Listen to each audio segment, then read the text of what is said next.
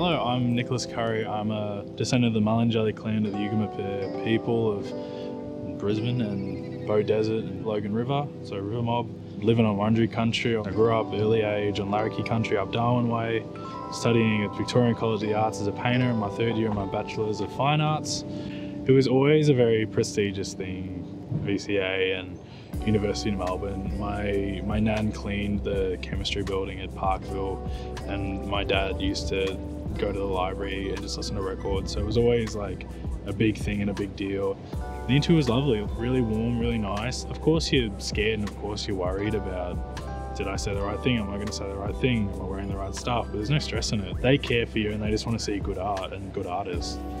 My name is Patrick Bencher. I'm a third year music student and I play in two of the ensembles here as well as do my academic subjects and my compulsory subjects.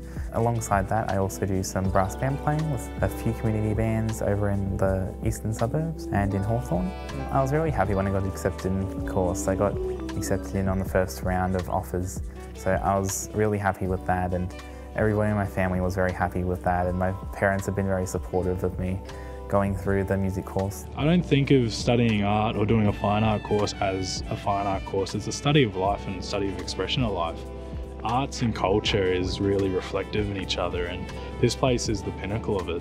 My identity coexisting with my work as a proud Aboriginal man goes everywhere. It's as soon as I put the pen to paper, as soon as I put the paint to canvas, as soon as I do a sculpture or a shaker leg, for anything, it's it's integrated. It's everything. Every day I'm learning something new about myself or about a practice or about how to be. Music is not a hobby when you get here. It's not just a bit of time. It's a full lifestyle.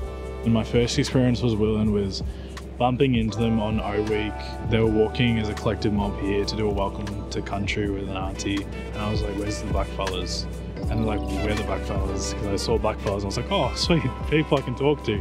They've all just been helpful, just with always having the right information on hand, always taking that extra step to go looking for me where I didn't know where to look. There's a different feeling when Aboriginal people teach Aboriginal people and uphold Indigenous people and make you feel safe and will listen to your fears. I find that once I've finished a concert or I've played a piece really well or I've just really enjoyed the moment of a particular piece that I just feel like really happy afterwards and just finding the, the joy after the playing and the joy in the playing kind of keeps me going and makes me want to keep going. I'm just happy to be here. And I think that's honestly the best thing. It's the friends I've made, it's the experiences I've had, it's the bad work I've made, it's the bad paintings I've painted. And and no, I'm just really happy. Like I think that's what I'm really grateful that I'm I can proudly say that I'm happy while being here.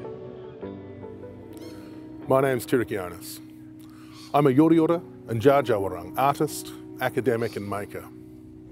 I've got the great honour of being the head of the Wilin Centre for Indigenous Arts and Cultural Development at the Victorian College of the Arts and the Melbourne Conservatorium of Music, the Faculty of Fine Arts and Music here at the University of Melbourne. If you're a First Nations artist, if you're passionate about what you do, and if you want to take your practice further, if you want to turn it into a career, we want to know you.